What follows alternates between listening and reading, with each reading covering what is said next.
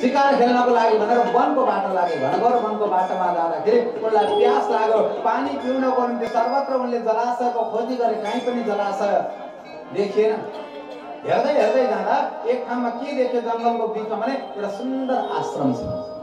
त्यो सुन्दर आश्रम बाहिर एकजना तपस्वी आँखा बन्द गरेर बसेका छन्। समिक नाम गरेको ऋषि आँखा बन्द गरेर समाधिमा बस्नु भएको छ। त राजा प्यासा के गएर भन्नु लाग्यो महाराज मलाई साह्रै प्यास लागेको छ। हे समुख मुनिले मलाई पानी दिनु न मलाई पानी दिनु न मलाई पानी दिनु न भनेर पानी माग्न लागे। तर समाधिमा बसेका ऋषिलाई थाहा भएन।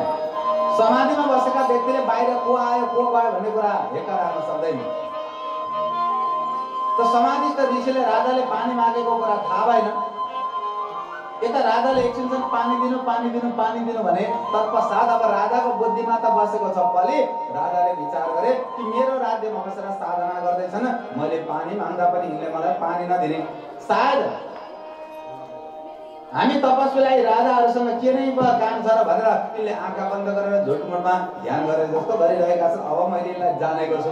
यसरी राजाले विचार गर्दा गर्दै एउटा मरेको सर्प पनि तिनीहरू लडिरहेको रहेछ। हेर्नुहोस्। यो हामी कुनै कुनै घटना दुर्घटना घट्यो भने भन्छौँ नि मैले यसो नगरेको बा त्यसो हुँदैन थियो कि त्यसो नगरेको बा उसो हुँदैन थियो कि भन्छौँ हामी। तर हुने दिन आएपछि यसो त्यसो उसो छ नि सबै कुरा विधाताले तारतम्य मिलाइदिन्छ। क्या दिन आओस् न सबै कुरा उसले मिलाइदिन्छ। त्यो राजा परीक्षितको निम्ति विधाता नै अब त्यस्तो भनेको छ मरेको सर्प पनि तिनीहरू लडिरहेको रहेछ अब राजाको बुद्धिले हरायो। अरे राजन उठायो मरेको सर्पलाई र ऋषिको गलामा। माला लगाइदिए भने अरू व्यक्तिले बुद्धिको खेल्न संसार हँ? अब राजाले धनुष टुप्पाले मरेको सर्पलाई उठाएर ऋषिको गलामा माला लगाउने तयारी गरे। अब हेर्नुहोस् कस्तो विचित्रता छ। सम्झौँ कि कली बसेको रहेछ है? मैले त्यो कलीलाई हटाउनु पर्छ तर अर्काको उन्नति र प्रगतिमा मन खुसी हुन्छ अर्काको नाशमा मन दुःखी हुन्छ भने धर्म नै बसेको छ भन्ने विचार गर्नुपर्छ। त यहाँ राजा परीक्षितले मरेको सर्पको माला लगाइदिनुलाई नै ठुलो कर्म गरे जस्तो सम्झे। र त्यहाँबाट फर्केर आए राजा परीक्षित दरबारमा उता जसको गलामा मरेको सर्पको माला लगाइदिएका थिए ऋषि समीक उनको पुत्रको नाम थियो श्रृङ्गी ऋषि श्रृङ्गी ऋषिले यो कुरा जब थाहा पाए उमेर त सानै अरे श्रृङ्गी ऋषिको तर बडा तपस्वी। उनले जब यो कुरा थाहा पाए मेरो पिताको गलामा मरेको सर्पको माला लगाइदिएका छन् राजा परीक्षितले भन्ने कुरा थाहा पाउने बित्तिकै अब कमण्डलबाट पानी हातमा लिएर श्रृङ्गी ऋषिले श्राप दिँदै भने इति लङ्घित मर्यादम तथक सप्तमे हनि दङ्क्षति स्म कुलाङ्गारम चोदितो मे श्राप दिँदै भने जसले मर्यादाको उल्लङ्घन गरेर मेरो पिताजीको गलामा मरेको सर्पको माला लगाइदिएका छन् उनी जोसुकै भए पनि आजको सात बारमा उनलाई तत्सक सर्पले डस्ने छ डसोस् भनेर श्राप दिए। अब विचार गरौँ न यहाँ। समीक ऋषिका पुत्र श्रृङ्गी ऋषिले राजा परीक्षितलाई सात बारमा तक्षक सर्पले डस्ने श्राप दिए। यो कथा हो। अब यो कथाको रहस्य हो? त्यो रहस्यलाई बुझौँ हामीले। कथा त सुनिरहन्छौँ सुनाइरहन्छौँ। तर कतिपय ठाउँमा रहस्य बुझेका छैनौँ। राजा परीक्षित भनेको को हो? पहिला बुझौँ।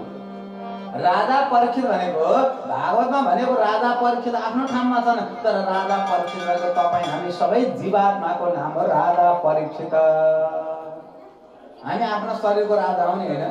हाम्रो आत्मा जो छ यो आत्मैको नाम हो परीक्षित यो जीवात्मा रूपी परीक्षितलाई सात बारमा तक्षक रूपी सर्प भनेको काल रूपी सर्प कुनै गोमन सर्प जस्तो अर्को तक्षक सर्प होइन।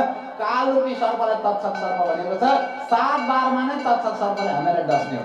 बाह्र कतिवटा हुन्छ? नौवटा? सातवटा होइन।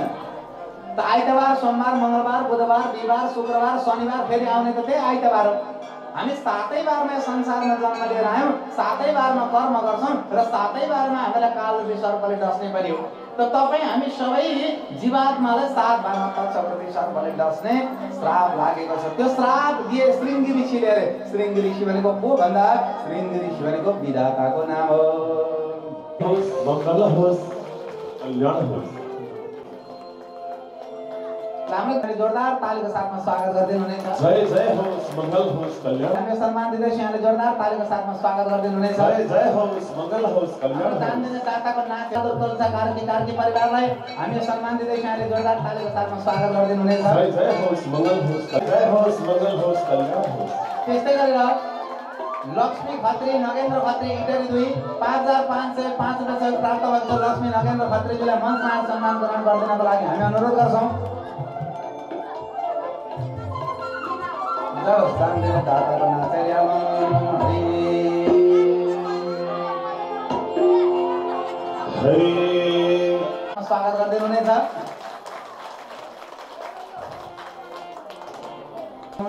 जय जय होस् मङ्गल होस् कल्याण होस् हाम्रो अब दान दिएर सम्मान पत्र यो सम्मान पत्रको साथमा दोसरलाई पनि उडाएर हामी सम्मान दिँदैछौँ अहिले जोरदार तालीको साथमा जय जय होस् जय जय होस् मङ्गल होस् मङ्गल होस् कल्याण होस् कल्याण होस् पनि एकदम भारी रहेछ पनि हामी उडाएर सम्मान दिँदैछौँ अहिले जोरदार तालीको साथमा जय जय होस् जय जय होस् ल हाम्रो दुर्गा प्रसाद बलगाई दाईको नाच हेरी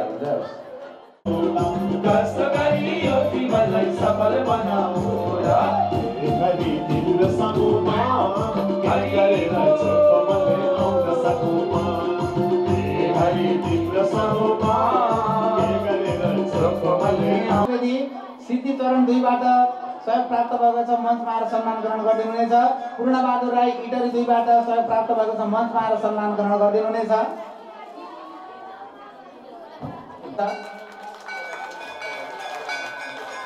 अरू जसको नाम लिएको छु कृपया मञ्चमा आएर सम्मान लिइदिनु हुनेछ बहादुर राईजीलाई यहाँले जोरदार तालीको साथमा स्वागत गरिदिनु हुनेछ इन्दिरा मठ। ल, हाम्रो दानदाताको नाच सुपुत्री ज्वाइँ हुनुहुन्छ उहाँहरू। हामी यो सम्मान दिँदैछौँ। जोरदार तालीको साथमा स्वागत गर्नुहुनेछ। जय होस् मङ्गल होस्। त्यस्तै गरेर हजुर बहिनी ल कुरा पनि हामी प्रदान गर्दैछौँ यहाँले जोरदार तालीको साथमा स्वागत गर्नुहुनेछ जय जय जय जय होस् मङ्गल होस् कल्याण होस् यहाँले ताली बजाएर स्वागत गर्नुहुनेछ जय होस् मङ्गल होस् कल्याण होस् त्यता गएर उभिनुहोस् त लालबहादुर दाहाल बद्री माया हुनेछ जय जय जय होस् मङ्गल होस् कल्याण होस् हुनेछ मङ्गल हो। कल्याण होस् जय। श्री लालबहादुर जय होस् मङ्गल होस्। कल्याण होस्। हाम्रो दानदाताको नाच हेरिहाल्नु जय होस्। आउनु एक्लै जानु लानु केही छैन मेरो मेरो भन्छ हामी मेरो केही छैन। एक्लै आयो एक्लै जानु लानु केही छैन। अनि एक्लै आयो एक्लै जान्छ लानु केही जय छैन हो जय हो, जय हो। हाम्रो अब जीवनाथ दाई। तालीको साथमा स्वागत गर्नुहुनेछ। जय होस् मङ्गल होस्। त्यस्तै गरेर श्री हिँड्दै हिँडेन भने लड्दै लड्दैन केही गर्न खोज्दाखेरि कहिले काहीँ गल्ती हुन्छ त्यस्तै मैले एउटा गल्ती गरेछु अघि त्यो गल्ती म क्षमा चाहन्छु यहाँहरूसँग जसले हिजो दिएको पैसामा अरू पैसा थप गरेर एक लाख उनान्सय हजार सात सय सतहत्तर रुपियाँ पैसा पुऱ्याउनु भएको थियो जसले पङ्खाहरू पनि फिट गरिदिनु भएको थियो नाम हेर्दाखेरि यता नाम फोक्दै थिएँ उतापट्टि हेरेको त पङ्खामा पनि जसको नाम देखेँ मैले। त्यस्ता हाम्रा दुर्गा प्रसाद बजगाई पवित्रा बजगाईलाई अघि सम्मान दिने क्रममा यो चाँदीको सिक्का मैले छुट्याएछु उहाँहरूलाई। म यो चाँदीको सिक्का आएर ग्रहण गरिदिनको लागि अनुरोध गर्छु जसको चाँदीको सिक्का मैले छुट्याएछु यसलाई अन्यता पनि मान्नुहुने छैन यो मबाट भएको गल्ती हो। होइन? आएर दुर्गा प्रसाद बजगाइदियो पवित्र बजगाइज्यूलाई यो चाँदीको सिक्का पनि ग्रहण गरिदिनको लागि म अनुरोध गर्छु।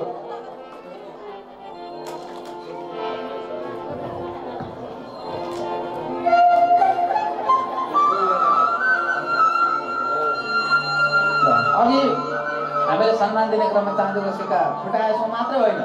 छुट्नु पनि माताले नै छुट्याउनु भयो अघि दाई एक्लै आउनुभएको थियो अहिले त्यही भएर छुट्यायो हामी यो सम्मान दिँदैछौँ पुनः। यहाँले जोरदार तालीको साथमा स्वागत गर्नुहुन्छ होस् जय जय ल अब चाहिँ अघि दाईको मात्रै नाचेर अब दाई र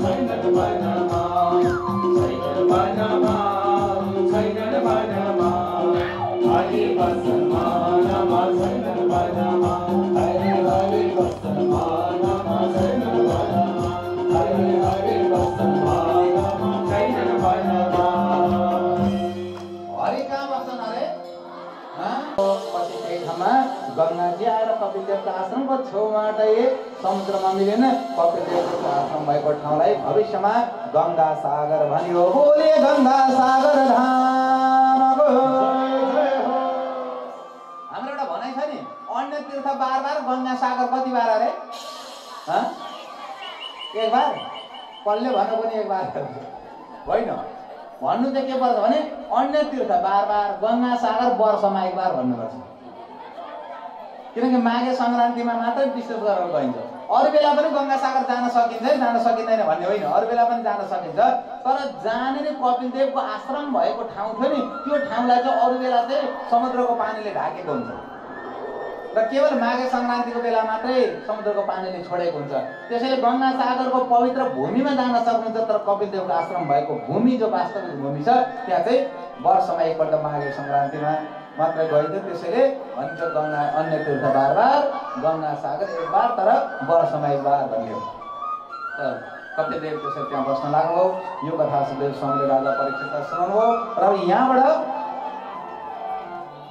चतुर्थ स्कन्दको कथा प्रारम्भ भएको छ। हामी स्कन्द परिवर्तन गर्दैछौँ। आउनुहोस् एउटा भजनमा गाएर भजनमा नाचेर अनि हामी फेरि चतुर्थ स्कन्दको कथातिर लाग्नेछौँ जय हो। जय बोलो भक्त भगवान की। एक दिन ता जाने हो संसार छोड़ेगा एक दिन ता जाने हो संसार उड़ेगा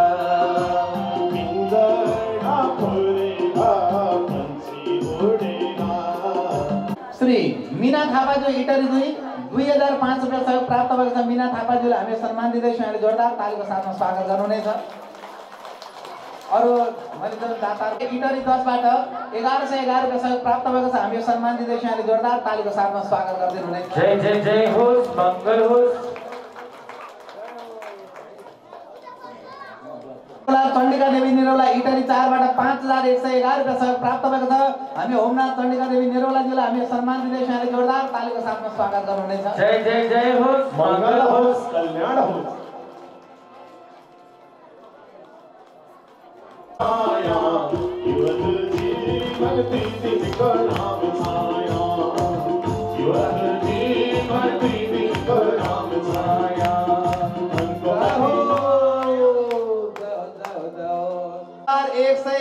सहयोग प्रदान गर्नुभएको छ। हामी सोमराज भट्टराई रेणुका भट्टराई भट्टराई परिवार इटरी दसलाई यो फ्रेममा राखिएको सम्मानको साथमा दोस्रोलाई पनि उडाउँदै र दस तोलाको अ, चाँदीको सिक्का गणेश लक्ष्मी अङ्कित भएको यो चाँदीको सिक्का पनि प्रदान गर्दैछौँ। यहाँले जोरदार तालीको साथमा स्वागत गर्नुहुनेछ जय होस् मङ्गल होस् कल्याण हो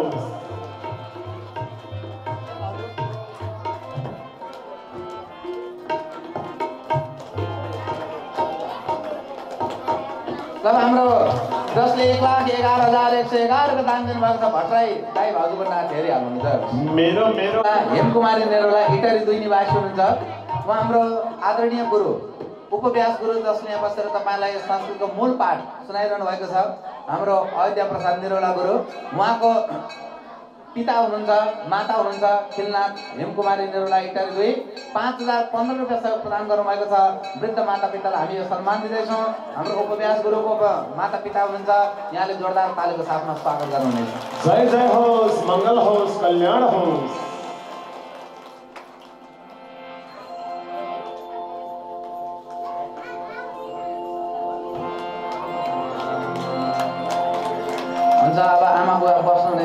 वृद्ध हुनुहुन्छ बुवा?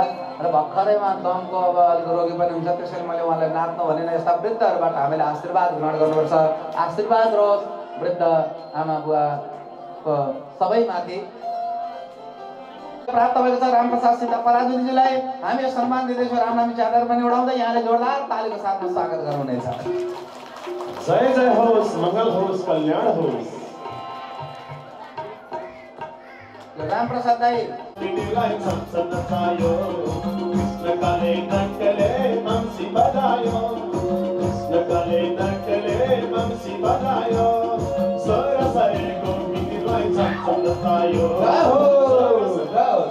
ए दाइ, गर्ने बित्तिकै के को अब ढुक्क के को पाउनु ल्याकी बुहारीले वर्ष दिनपछि दुई वर्षपछि नाति नातिना पाइदिन्छन् अब त चौकीदारी पो बनाइदिन्छन् लो। अफिस जान्छ काममा जान्छ हेरेर बस्नु भन अब। चौकीदार पो भयो अब। यो छोरो भयो बुहारीको? अब हेर्नु अगाडि फेरि। कस्तो भने? अनि अब हुँदै गयो हुँदै गयो। पछि संसार छोरी ज्वाइँको हुने छोरो बुहारीको हुने अब बुढाबुढी दुईजना। ताप्रो बस्छ दुईतिर। शरीरमा बल पनि सकिँदै जान्छ तागत सकिँदै गयो जान्छ कतै हिँड्न सुन्न गर्न पनि गाह्रो हुन्छ। अनि बुढाबुढी टक्र टक्र बसेर कुरा गरेर कुरा गऱ्यो अनि हो बुढी है हो हो त नि हो बुढा त्यस्तै भन हो नि बुढी भन उहिलेको कुरा गऱ्यो बुढाबुढी भन हेर्नुहोस्। कति बुढा र बुढी हुँदा त जेन तेन यसो बुढाले बुढीलाई हेरेर बुढीले बुढालाई हेरेर अनि भन्दै यसो दिन बिताउने मेरो त हुँदै गर्थ्यो। त्यसमध्ये पनि यो दैवले एउटालाई थुप्रोकै लगिदिन्छ। लगिदिएपछि त अब एक्लै भयो बुढा हो कि बुढी एक्लै। के छोरा भयो बुहारीको? छोरी ज्वाइँको घर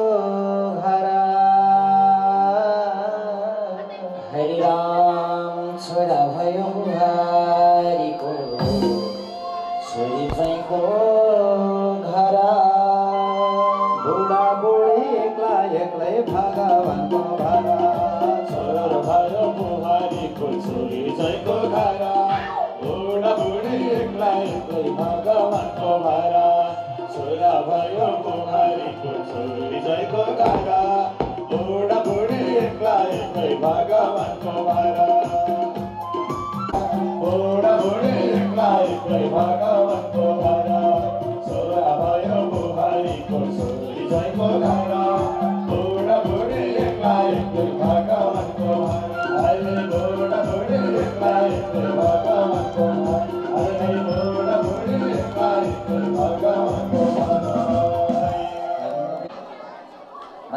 नारदले भन्नुभयो शिवले या ब्रह्माले या तेत्तिस कोटी देवी देवताले चाहिँ ऐश्वर्य दिन्छन् ना विष्णुले त दिँदैन। ए हो त्यसो भने शिवलाई खुसी पार्न के गर्नुपर्छ? नारदले भन्नुभयो पाँच अक्षरको मन्त्र छ नम शिवाय भनेर। नम शिवाय। नम शिवाय भन्दा पाँच अक्षर हो। त्यो पञ्चाक्षरी मन्त्र भनिन्छ हो यो नम शिवायको जप गर्यौ तिमीले भने शङ्कर भगवान्ले तिमीलाई आएर तिमीले चाहे अनुसारको वरदान दिनुहुन्छ। भन्छ प्रकाशले हुन्छ भनेर। नम शिवाय मन्त्र नारदबाट सुनेर अब हिमालयमा बसेर विकासले तपस्या गर्न लाग्यो। अब यहाँबाट झाँकी हुन्छ। कतिपय कथालाई कथाको माध्यमबाट तपाईँले बुझ्नुहुनेछ भने कतिपय कथालाई झाँकीको माध्यमबाट तपाईँले बुझ्नुहुनेछ। जो चाहनुहुन्छ त्यहाँ बसेर झाँकीको आनन्द लिनुहुनेछ। अब यहाँ नम शिवाय जप गर्नको लागि विकासहरू आउँदैछ। हेरौँ अब कसरी आउँदैछ विकासहरू ॐ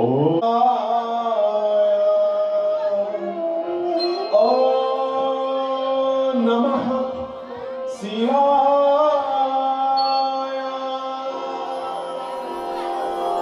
ॐ नमः शिवाय। कृपया बसिदिनुहुनेछ पछाडिको भक्तलाई शिवाय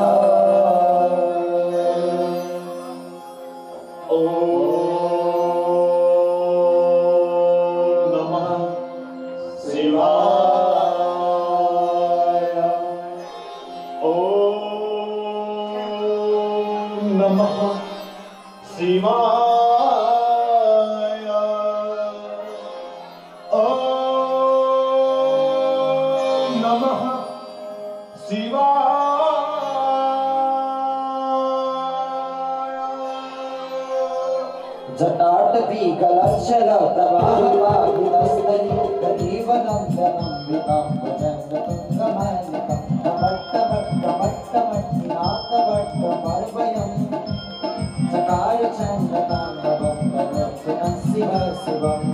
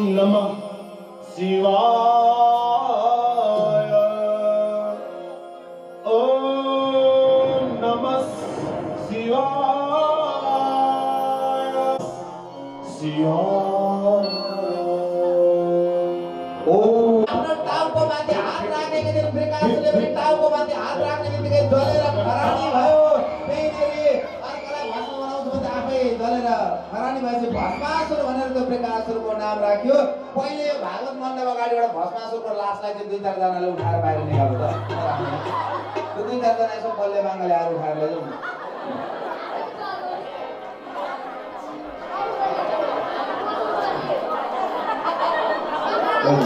राम नाम सत्य हो। राम नाम सत्य हो। बिस्तारै लैजाउँ है साँच्चैको मार्ग होइन नि। हमारे पछि यस्तै हो।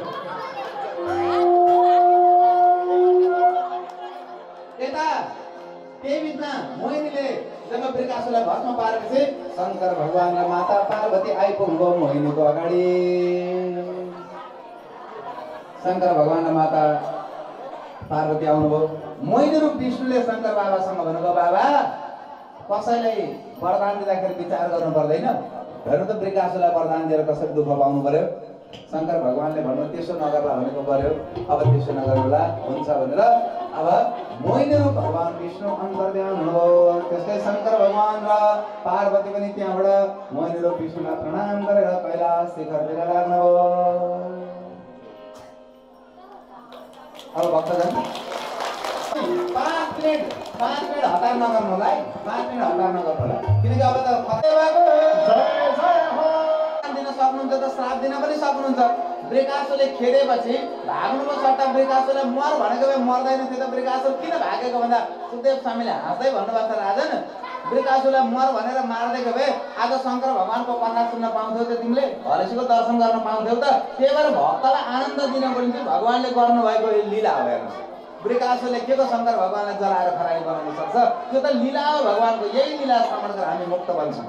त हलेसी महादेव जो शङ्कर भगवान् गएर त्यहाँ बस्नु भएको छ बडा सुन्दरतम तीर्थ हो हलेसी महादेव गुफाभित्र शङ्कर भगवान् बस्नुहुन्छ हामी यहाँ जतिजना पनि छौँ नि हलेसी कतिजना गएका छौँ जाने जतिले हात उठाउँदा करिब करिब थुप्रैजना हलेसी जानुभयो